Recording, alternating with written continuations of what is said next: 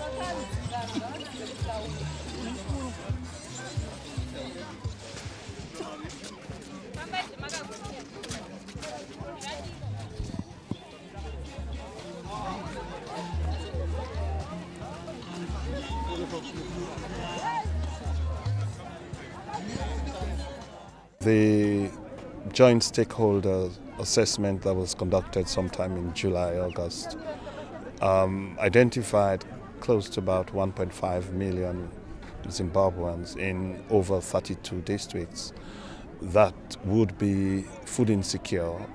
In other words, these households might not be able to afford a meal a day come the hunger season, which at its peak is between January and March.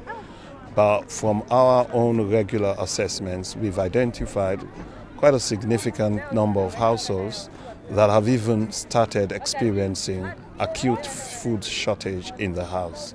And as a result of that, we've adjusted our lean season assistance, which we usually start sometime around October, November, to start in September.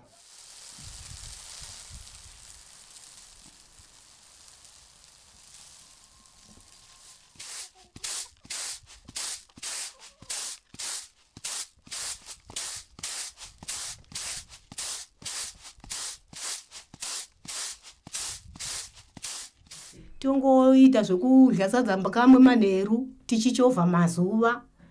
Kamwe manheru masikati todya hedu shuma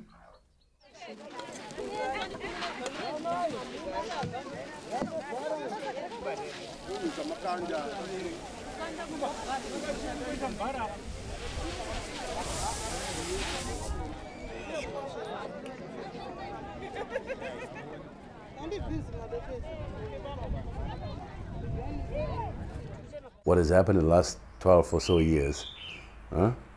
we have had much less access in the wetter areas in the northern part to inputs, adequate inputs, so that relatively speaking, the production is lower.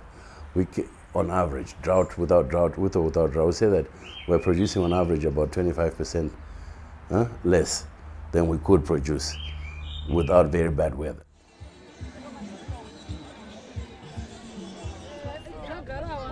Thank